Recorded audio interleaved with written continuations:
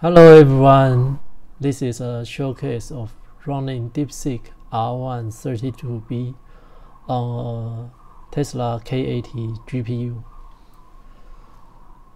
The K80 has 24 gigabyte memory and uh, you can see the NVIDIA SMI utility display the memory usage of each K80 core. And also it will show the Celsius of its core.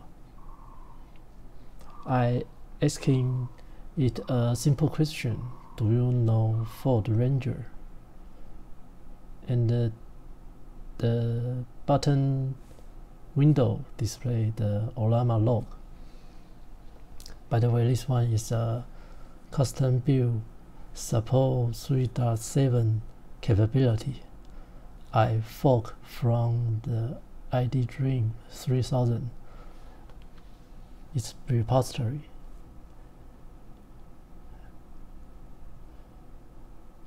The current version uh, does not support this one.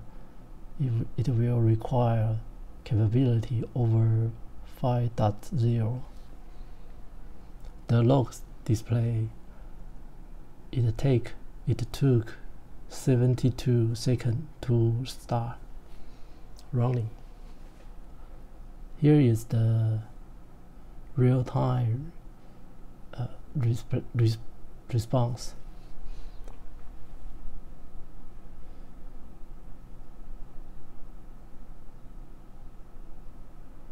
The web GUI I use is a open web GUI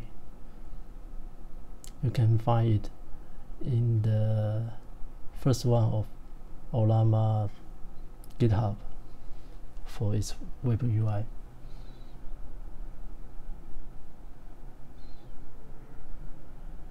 Take a look about the degree of K8 is about 52.